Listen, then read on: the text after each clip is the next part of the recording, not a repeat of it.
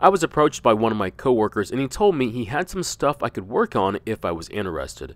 I told him, Have you seen my channel? Of course I'm interested. He then tells me that it's a Stihl trimmer, but he warns me that it's been sitting in a barn for several years and it would be very dirty. This is what it looked like when he gave it to me. What's up everyone and thank you for stopping by. Today's project is the Stihl trimmer and the problem is that it won't start. Now the biggest reason why it won't start is that they did not take the steps they needed to for long-term storage. Now it does run for a bit after putting some fuel into the carb's throat, so more than likely the carb is our only problem. But before we take a look at this carb and service it, I want to give it a good cleaning. That way we don't get dirt in places where it's not supposed to be, like in the fuel tank or in the carb itself. While I'm cleaning it, I'm going to answer some of the questions I've gotten, or at least some of the more interesting ones. Now, I'm a huge fan when it comes to Stihl equipment. I think they're made very well, and that's why you see so many of them on lawn care trailers. The problem is that to be competitive, some of their components and even some of their more affordable trimmers are made halfway around the world where labor costs a lot less. Now, I have heard a lot of complaints from some of the viewers who have had some problems with the more affordable line of trimmers from Stihl, but this is not one of them. Back when this was new, it was almost $600 US, which I don't know about you, is a hefty price to pay for something to trim your grass with. But for that money, you get a very robust machine that should last for a long time if you take care of it. Well, that didn't happen here. Now, it's really nobody's fault when it comes to this trimmer because if I recall, I think the coworker said that this used to be his father's, and I think health issues sidelined him for a while. So when it was put up with fuel in the tank, it wasn't done on purpose. They just didn't realize that the next time they were going to use it was going to be years later. So the first question is, does it matter to you if something is made overseas? And the answer is, of course not. There are so many things made overseas that if you didn't want to buy them on that fact alone, I think you soon realize how much stuff is made over there. We're just people, and some days you might not be on top of your game, and you end up making mistakes at work. It does happen, and unfortunately, sometimes the stuff you messed up on does get out to the public. I don't blame the companies for poor quality, they're just trying to make a profit by using the lowest bidder, so if it's a cheap product, then more than likely it's going to be designed and built to a cost. Does that mean that if you buy the more expensive trimmer from Stihl that it's not going to have problems? Of course not, but I do think you get more for your money and higher quality is one of them. Now, will that keep me from buying the cheapest gas trimmer from Stihl on the market right now, which is an FS38? Not at all. Just keep in mind that if it's only priced at $140 US, what kind of quality assurance can I expect?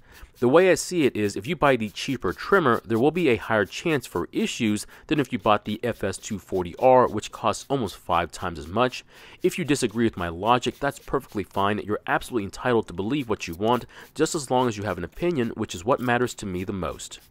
Now the cleaner that I'm using is an orange based cleaner, but most anything will work as long as it can cut through dirt and some oil. When it comes to sticky old gasoline, you can also use stale gas or brake cleaner. I'm also trying not to use water to wash away the dirt, but as long as you're careful, it's not a problem. Just keep it away from the muffler and the air filter. The next question is, can I use a pressure washer to clean my trimmer? And the answer is sure, but I would not use it for the engine portion, only the lower part of the shaft and the guard. If you were going to use it for the engine on a trimmer, you're welcome to give it a try, but don't blame me if you break something important like the purge bulb or one of the fuel lines. Speaking of the purge bulb, I got an interesting comment the other day where the viewer said they never use the bulb, they just choke the carb and pull the rope to remove the air from the system. I don't have a problem with this method because it does work as long as you have a good functioning carb, but I do have some concerns with this method. The first is that for anyone who is following the directions on how to start their trimmer that is equipped with a bulb, the directions will not apply anymore and you run the risk of flooding your engine with too much fuel. So for me, I would rather just follow the directions and it should start. Now back in the day when most equipment did not have a bulb, it was the standard procedure, but once the bulbs came out, the directions changed as well.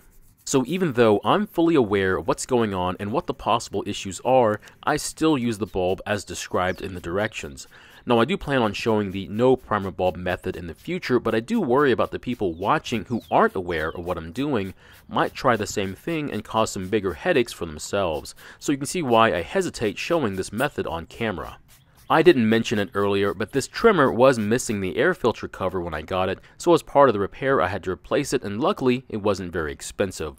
I also had to replace the air filter as well, and I think combined it was under $20 shipped to my door for both.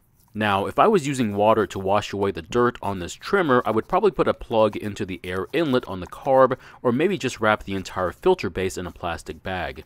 The water shouldn't get into the carb unless you turned it on the muffler side and was pouring it into the intake, but as long as it's sitting normally, it should be okay.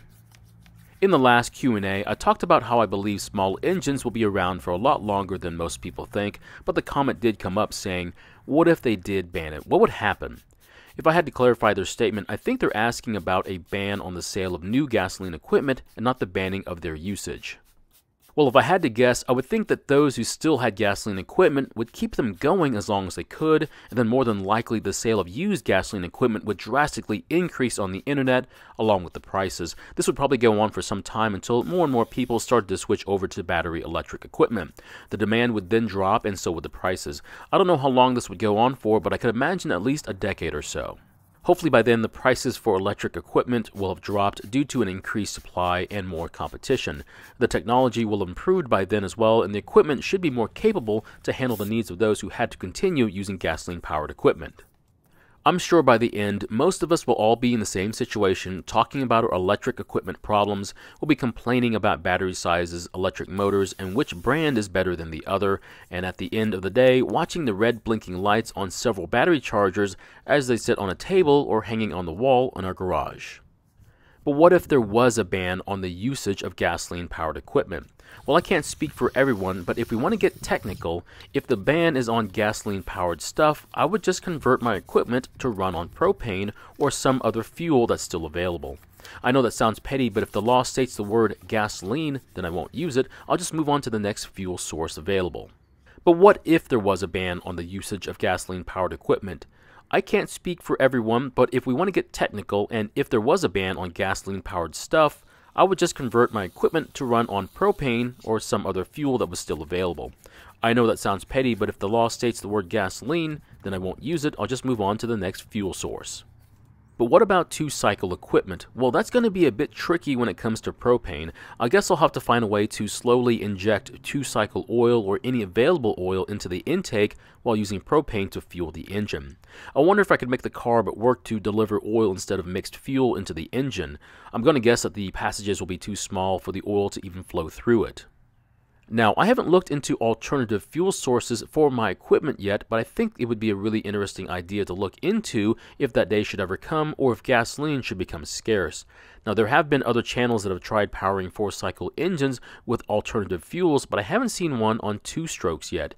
If you've seen a video like that, I'd like to know about it, and if not, I might have to make a video about that someday. Now, this trimmer was nowhere near as dirty as the pole saw that he also gave me, so it didn't take any time to get this one clean. I've already made the video on how I got this trimmer working again, so if you want to see that video, click on the link at the top right of the screen or in the video description. I hope you enjoyed watching me clean this trimmer and answer some of your questions. I do plan on doing more of these Q&As, and if I didn't answer your question, please don't be afraid to ask and I'll answer them either in the comments, in email, or in a video like this one. Thank you for watching. I really do appreciate your time here. Please feel free to ask me any questions. I hope to see you in the next video.